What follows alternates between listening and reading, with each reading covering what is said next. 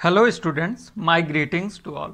Hope you all are good and staying at home. I am Adit Singh going to teach you today dimensional analysis part 2. Hope the video quality is good. so, जैसा कि आप सब लोग जानते हैं कि ये chapter dimensional analysis exam point of view से कितना इंपॉर्टेंट है ओके okay, बच्चों सो so, मैं आपको बताऊँगा कि इसके क्वेश्चन आसानी से कैसे करें सो so, हम लोग पार्ट वन में इसके एप्लीकेशन और यूज़ दो अप्लीकेशन एंड यूज़ पढ़ चुके थे। ओके okay, बच्चों? सो so, आज हम लोग देखेंगे third application and fourth application third application is to determine dimension and unit of a physical quantity okay मतलब किसी भौतिक नियतांक की डायमेंशन एंड यूनिट कैसे फाइंड आउट करें। And to check the fourth application is to check the dimensional correctness of a given physical equation मतलब किसी भी फ़िज़िकल इक्वेशन मतलब किसी भी फॉर्मूले को हम उसकी वेरिफिकेशन कर कैसे करें? डायमेंशनली करेक्ट है या नहीं है उसका हम वेरिफिकेशन कैसे करें? सो so, बच्चों अगेन मैं रिक्वेस्ट कर रहा हूँ कि आप ये वीडियो प्लीज़ लास्ट तक देखते रहें। So let's start with third one okay बच्चों? So third one is to determine the dimension and unit of a physical quantity. So आप लोग जैसा कि सब जानते हैं कि आप बोलेंगे कि सर ये तो एक फ़िज़िकल कांस्टेंट है। ओके? अब कांस्टेंट की डायमेंशन या यूनिट कैसे होती हो सकती है? क्योंकि अभी हमने पीछे डिस्कस किया था। ओके? सो ऐसा कुछ नहीं है। सब कांस्टेंट एक जैसे नहीं होते। जैसे हर बच्चा एक जैसा नहीं होता। सो so, ऐसे ही सब कांस्टेंट एक जैसे नहीं होते।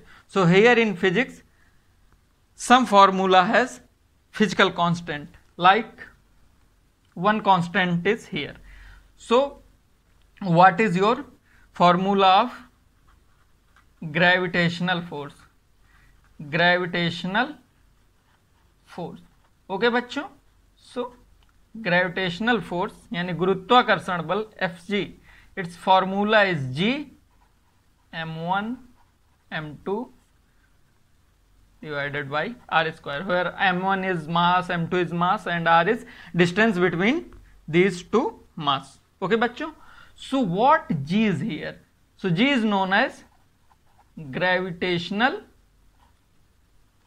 constant okay so so एक फ़िज़िकल कांस्टेंट है अब हमारा ऑब्जेक्टिव क्या है यहाँ पे कि हमें इस फ़िज़िकल कांस्टेंट जी की डायमेंशन फाइंड आउट करनी है ओके okay, बच्चों सो लेट्स डू सो अब हम इसको कैसे लिखेंगे? This is force this is our objective जिसकी हमें डायमेंशन फाइंड आउट करनी है। This is M one this is M two and this is R square okay बच्चों? So G will be F G into R square divided by M one and M two तो बच्चों, अभी हमने last class पे force की dimension पता की थी। R this is radius radius क्या है? रेडियस रिलेटेड होती है लेंथ से। लेंथ क्या थी हमारी? फंडामेंटल क्वांटिटी और हर फंडामेंटल क्वांटिटी का एक अपना सर्टेन डायमेंशन होती है। तो लेंथ की डायमेंशन थी एल एम क्या था हमारा? मास ओके बच्चों? तो मास भी एक फंडामेंटल फ़िज़िकल क्वांटिटी है। सो इसकी डायमेंशन क्या थी? कैपिटल एम ओके बच्चों? सो यहाँ से हमारी जी की डायमेंशन क्या होगी? फोर्स की डायमेंशन क्या थी बच्चों? M L T minus two okay अभी आपको ये धीरे धीरे जैसे जैसे आप प्रैक्टिस करोगे तो over the period of time ये सब आप इसमें परफेक्ट हो जाओगे okay into this is R so इसकी dimension L so this is L two क्योंकि आर स्क्वायर है divided by M one M two तो ये दोनों मास हैं। तो इसकी m m ओके बच्चों so one M one M is cancel out so the dimensional formula is m minus one L three T minus two so this is dimensional expression of gravitational constant okay बच्चों, अब what will be its unit अब हम यहाँ पे बात करेंगे अभी M system में ओके मीटर किलोग्राम सेकंड में ओके बच्चों? तो अब इसकी जी की यूनिट क्या होगी? के जी की power minus one metre cube second की पावर माइनस टू ओके बच्चों? तो दिस इज़ इट्स यूनिट और इंडिविजुअल यूनिट लिखें, जैसे हमारा यहाँ से जी का फॉर्मूला ये आया था। ओके बच्चों? तो जी का फॉर्मूला था आपका F G R square M one M two so G's unit is newton metre square पर के जी स्क्वायर ओके बच्चों? तो ये इसकी हो गई यूनिट एंड ये हो गया इसका डायमेंशनल फॉर्मूला समझ में आया बच्चों? तो जैसा कि बच्चों, आपको ये पता चल गया कि ये इसकी एम यूनिट है ओके आप इसकी सी जी एस यूनिट भी फाइंड आउट कर सकते हैं okay then let's do another example okay जैसे आपको अभी आपने एक example a so let's do another example another example is find out dimension and unit of R. What is your R? Gas constant or sometimes referred is as a universal gas जो कि कहाँ आता है हमारा? Ideal gas equation में। Ideal gas equation में। तो बच्चों ऑब्जेक्टिव क्लियर है ना? क्या करना है? हमें dimension and unit find out करना है किसकी? आर की। और किसमें होता है ये R ideal gas equation. So मे भी सबने टेंथ में पढ़ा होगा आइडियल गैस इक्वेशन वो क्या होता था? P V equal to N R T जहाँ पे ये पी प्रेशर वी वी क्या होता था आपका? वी होता था बच्चों volume N number of mole R हमें फाइंड आउट करना। और टी क्या होता है? अभी हमने फंडामेंटल क्वांटिटी में बात की थी ना थर्मोडाइनमिक टेम्परेचर ओके बच्चों? तो चलो आप इसकी तुरंत यूनिट निकालते हैं। तो अभी जो हमने इससे एव क्वेश्चन में प्रोसीजर यूज़ किया था, वही सेम प्रोसीजर यूज़ करेंगे। So P V equal to N R T में you will write R as P V divided by N into T okay बच्चों? अब प्रेशर की भी डायमेंशन अब हमें तो आर की डायमेंशन निकालने तो प्रेशर प्रेशर होता है आपका force divided by area. Force की dimension M L T minus two. Area की dimension A L two. Okay बच्चों तो फोर्स की डायम प्रेशर की डायमेंशन क्या हुई? प्रेशर की डायमेंशन हुई आपकी M L minus one T minus two. Okay बच्चों तो अभी हम अपने ऑब्जेक्टिव पे फिर से आ जाते हैं। ओके बच्चों? तो हमारा ऑब्जेक्टिव ये है। ओके तो यहाँ से हमने निकाला तुरंत अपना pressure so R dimension of R equal to pressure की डायमेंशन वो आपने लिख लिया। M L minus one T minus two V इसमें R equal to P V divided by N T okay बच्चों? तो इसमें प्रेशर हमारा लिख गया वी की डायमेंशन वी एल क्यूब क्योंकि this is volume N N is your number of mole अब mole this is amount of substance so इसकी यूनिट क्या थी? Mu so this is mu and this is T तो इसकी thermodynamic temperature की dimension हम लोग इसको लिखते हैं बच्चों थीटा से। ठीक है? तो ये हो गई इसकी dimensional unit dimension expression okay बच्चों? तो अब इसको थोड़ा सा कॉम्पैक्ट फॉर्म में लिखते हैं हम। कॉम्पैक्ट फॉर्म में आएगा ये M L minus one L three तो this will be L two this is t minus 2 mu minus one theta minus one तो ये बच्चों, इसका क्या है? This is dimensional expression of R ठीक है बच्चों, अब हमारा क्या था? अब इसकी भाई यूनिट बता देते हैं। अब यूनिट इसकी क्या होगी? K G metre square second minus two, mu mu क्या था बच्चों? Number of mole.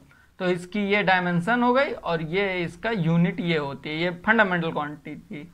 तो this is mole minus one and this is theta तो थीटा की क्या थी? Unit fundamental, kelvin. ओके बच्चों? So this is minus one so ये बच्चों हो गए इसकी यूनिट, ओके? तो ये कौन सी यूनिट है? This is your M K S unit. ठीक है बच्चों? So now come to application 4 okay to check the dimensional correctness of a given physical equation okay बच्चों? मतलब किसी दिए हुए इक्वेशन की डायमेंशनल करेक्टनेस को वेरीफाई करना, ओके? okay? तो अब इसका क्या मतलब है कि this principle is based on the principle of homogeneity of dimension what does it mean कि dimension of all terms in an equation must be identical मतलब कि इक्वेशन के दोनों तरफ़ की डायमेंशन सेम होनी चाहिए। मतलब dimension of L H S must be equal to dimension of R H S. Okay बच्चों? एंड इसमें क्या इंपॉर्टेंट होता है कि आप सिमिलर फ़िज़िकल क्वांटिटीज को ही ऐड एंड सब्सट्रैक्ट कर सकते हैं। सिर्फ़ और सिर्फ़ यही एक्सेप्टेबल है। ऐसा नहीं कि आप फोर्स एंड वेलोसिटी ठीक है? ये दोनों अपोजिट क्वांटिटीज हैं फ़िज़िकल क्वांटिटीज हैं। तो आप इनको ऐड और सब्सट्रैक्ट नहीं कर सकते। आप सिर्फ़ और सिर्फ़ सिमिलर फ़िज़िकल क्वांटिटीज को ऐड और सब्सट्रैक्ट कर सकते हैं। लाइक वेलोसिटी एंड स्पीड ठीक है? तो अगर वेलोसिटी है स्पीड है तो आप इनको एडिशन और सब्सट्रैक्शन कर सकते हैं। अगर आपने नॉन फिज नॉन सिमिलर फ़िज़िकल क्वांटिटीज को ऐड या सब्सट्रैक्ट कर दिया तो ये आपने सबसे बड़ी मिस्टेक कर दी। मतलब फिजिक्स में इसको महापाप कहते हैं। जैसे आप टाइम डिस्टेंस को ऐड कर दो ये भी महापाप है क्योंकि ये फिज, सिमिलर फ़िज़िकल क्वांटिटीज नहीं हैं। ओके तो आप इस बात को माइंड में फिक्स कर लो कि हमेशा किसी भी इक्वेशन में सिमिलर फ़िज़िकल क्वांटिटीज ही ऐड होंगी और सब्सट्रैक्ट होंगी। सो लेट्स डू एग्जांपल तो आपको क्लियर कट समझ में आ जाएगा कि बात क्या है। Okay so verify second law of motion ठीक है? न्यूटन ने तीन लॉ दिए थे मोशन के। ठीक है? तो उसमें से अभी हम सेकेंड लॉ देखते हैं। तो सेकेंड लॉ था u t plus half a t square अब इनका सबका मतलब देख लो। जो ये एस है, वो डिस्टेंस है यू है वेलोसिटी है जो ये आपका टी है, वो टाइम है, और जो ये आपका ए है, ये बच्चों एक्सिलरेशन है। ठीक है? तो अब आप सबसे पहले क्या देखोगे इसमें? कि L H S dimension equal to R H S dimension पहला काम। दूसरा काम क्या देखना है? कि addition and subtraction is allowed for similar physical quantity ठीक है? तो ये अपने दिमाग के कोने में, दिमाग में ये दोनों रूल फिक्स कर लो कि फिजिक्स में कोई भी इक्वेशन दिखे। सबसे पहले आपको सिर्फ़ यही दो चीज़ देखना कि L H S equal to R H S की dimension and addition and subtraction is allowed और acceptable for only similar physical quantities okay so अब हमारा फोकस है, इसको वेरीफाई करना, इस इक्वेशन को वेरीफाई करना। Okay so dimension of LHS dimension of LHS is equal to this. Dimension of distance. अब व्हाट इज़ डिस्टेंस डिस्टेंस की डायमेंशन थी बच्चों लेंथ की dimension so dimension of L H S is length L okay बच्चों? अब dimension of R H S dimension of R H S अब R H S में क्या है? दो क्वांटिटीज हैं। दो क्वांटिटीज बच्चों कौन कौन सी हैं? एक ये यू टी है और एक है ये हाफ़ ए टी स्क्वायर ठीक है बच्चों? तो अब हम क्या करेंगे कि u t and half a t square must be same quantity ठीक है बच्चों? तो अब इसको वेरीफाई कैसे करेंगे? यूटी की डायमेंशन सबसे पहले u क्या था? Velocity so L T minus one. Okay? Time की, t इज़ द टाइम तो टाइम की वेलोसिटी, टाइम की डायमेंशन टी ठीक है? तो इसकी बच्चों, डायमेंशन क्या आ गई? एल मतलब चलो, ये टर्म तो हमारा एक्सेप्टेबल है। ठीक है? अब half A T square half तो ये तो भाई प्योर नंबर है ज़ीरो पॉइंट फाइव तो इसकी कोई डायमेंशन नहीं होगी। Okay? Acceleration A is the acceleration acceleration क्या होता है? वेलोसिटी डिवाइडेड बाय टाइम तो एक्सिलरेशन की हमें पता है? L T minus two okay बच्चों? T is the time so इसकी t to the power two so this is t two तो इसकी क्या हो गई? टोटल टी से T cancel out so this is L तो आपको यहाँ पता चल गया ना कि U T and half A T square similar quantity है यानी एल और एल इनकी डायमेंशन है। सो so, ये दोनों एडिशन एंड सब्सट्रैक्शन अलाउड है इनका। ओके सो यहाँ से क्या है बच्चों? This is dimension of dimension of RHS is equal to L. और LHS का डायमेंशन क्या था? That is also L. So यहाँ से S and L H S equals so this formula और इक्वेशन इज़ करेक्ट ठीक है बच्चों?